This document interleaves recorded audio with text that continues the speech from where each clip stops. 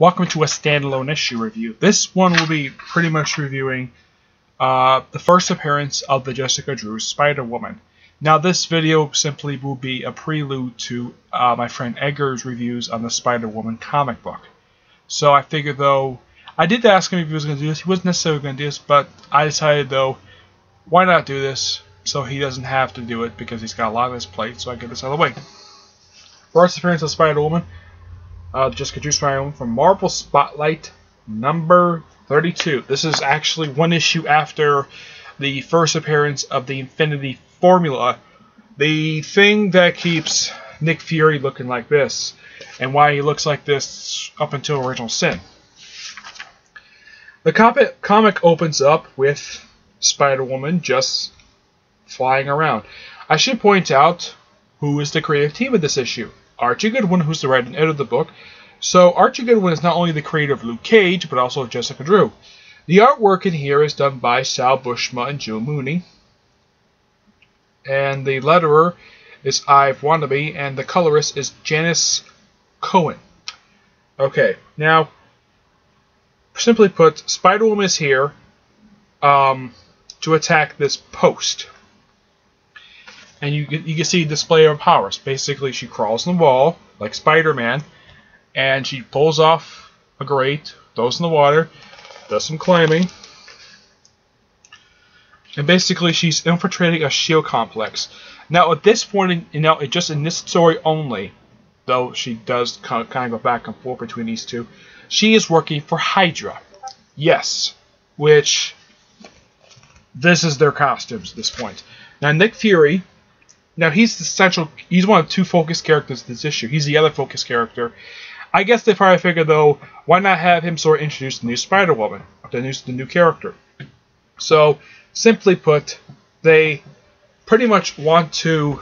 Hydra's plan is to simply kill Nick Fury. That's simply their plan, and basically Jessica Drew's job is to kill him.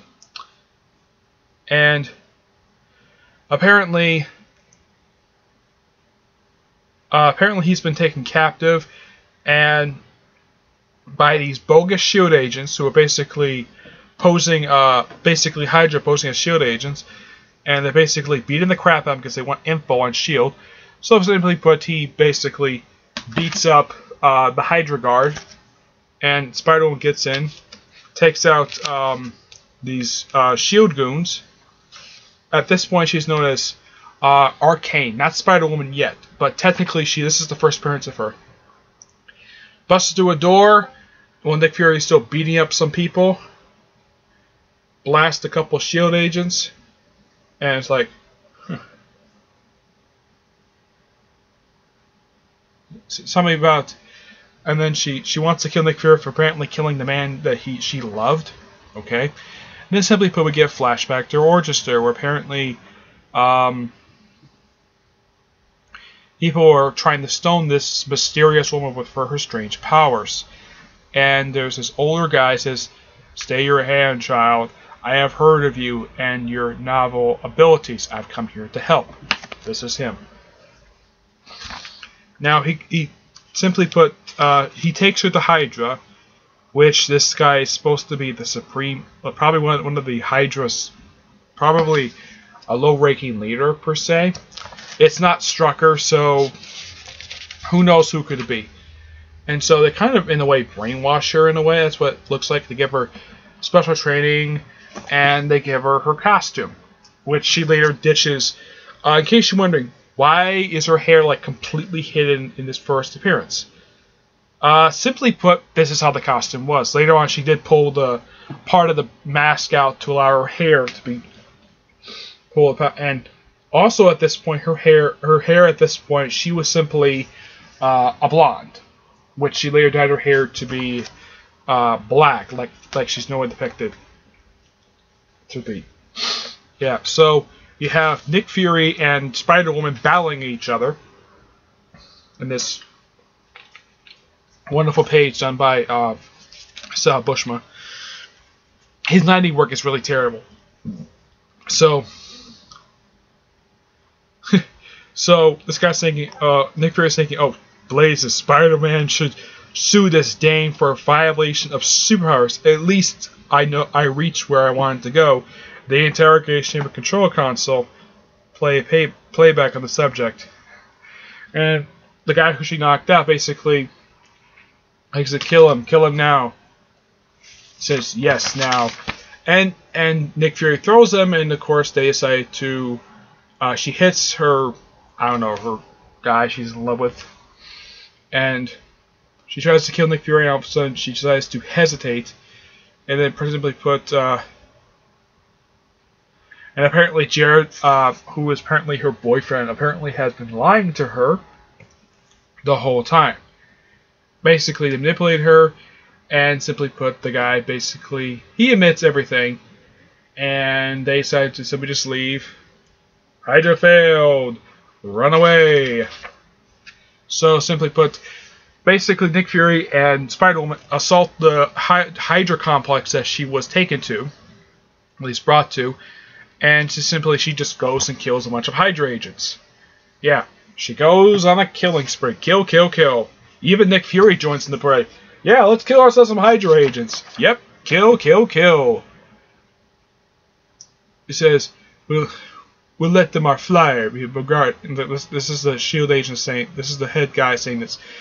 We'll let them follow our flyer. Very well bargained in. You may force what you want from me, Arachne or I must might resist and die with your secret. But if I were allowed to flee and avoid by sheer capture, voice by, capture by shield, and of course, okay, fine. I guess she decided, okay, let's just take the flyer out. Won't be cheated, and simply put some exploding energy, and apparently she goes back to normal. Uh, basically, there's a flashback to the High Evolutionary. And it says right here, according to Archie Goodwin, this is before his debut in Mighty Thor number 134 back in the 60s. This is the High Evolutionary. Normally, he's seen a guy, basic. He's normally depicted not like how he is in the Spider-Man Unlimited cartoon, where he's just a regular guy with the old guy with a beard. Uh, traditionally, he's depicted as this guy wearing this purple suit. This is how he traditionally looks, and this is how he looks this very day. He basically is the ruler of Counter Earth. His most recent appearance was actually in Uncanny Avengers. Uh, volume 2, second volume of the premise run. Says different species. Um, so, yeah, this is actually her first origin story. This origin story technically would still remain canon up until Brian Michael Bendis retconned it with the Spider-Woman origin story that happened uh, that came out in 2006, I believe it was. I think it was 2005. Yeah, it was not long after she joined the New Avengers that simply they retconned her origin story. And simply put, apparently she was a part. Uh, she was created by, according to this, uh, apparently she was created by the High Evolutionary. She was says basically Evolution created her, and she simply just ran away. Met some guy, and apparently accidentally attacked apparently he's the this this uh, Hydra League apparently is behind everything that has happened in her origin story, and he pretty much tries to get away. So Spider Woman just grabs onto his flyer. She he tries to kill her with by shooting him instead so shooting her instead of you know turning the plane sideways or better yet turn the plane upside down. Yeah, instead of using controls on his plane, he prefers to just shoot her. And so she just bends his the tail thing away, and the guy crashes into a mountain.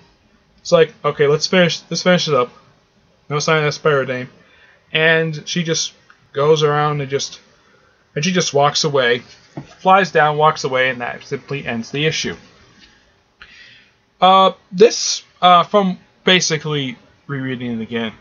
Uh, I have read this issue before Okay, I'm. Yes, I have read it before, so even though I kind of basically sort of kind of screwed up and just not have these things up uh, for a certain period of time. But simply put, this is actually a pretty decent first appearance for Spider-Woman. Um, and it's really neat the fact that uh, Nick Fury basically played in the hand of the first appearance. And pretty much right after this, she got her own series that lasts 50 issues. Which is by far one of the two longest running female titles published by Marvel Comics. The other, of course, is Sensational She-Hulk. Because apparently Marvel has a curse, basically put a curse on the female solo titles, with the exception of two. Apparently, female solo titles cannot last more than basically a year or two. Spider Woman, Miss Marvel, and Sensational She Hulk basically beat that. Miss Marvel Volume 2 lasted for 50 issues. Also, Sensational She Hulk lasted for 60 issues, and the She Hulk series, oh, well, Volumes 1 and 2 lasted combined 50 issues. When the third volume ended, it basically brought it to 62. But simply put, it's a great first appearance for Spider Woman, and later on she will abandon the back of her mask and simply have her hair pulled out like this. Now, her powers is simply she cannot simply just fly. It's later explained that um, she basically can glide for a certain period of time that she can just fly down. Um, she has similar powers to Spider-Man, um, but there's some unique differences. For one thing, Spider-Man does not shoot energy beams out of his hands. Actually, I think that I think she's probably the only person who's part of the Spider-Man family who actually can do that. Actually, she's one of two. The other, course, is Miles Morales. He can kind of do that too.